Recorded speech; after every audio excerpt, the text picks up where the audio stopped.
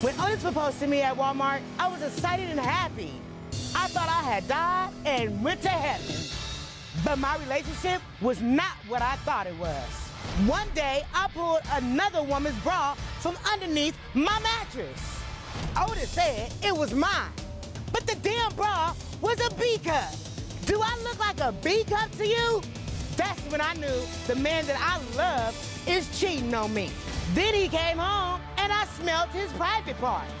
And don't you know, they smell like musty old cat. I think that Otis's cousin, Julia, is hooking him up with some ratchet females. If Otis and Julia have done me wrong, this wedding is over. Done.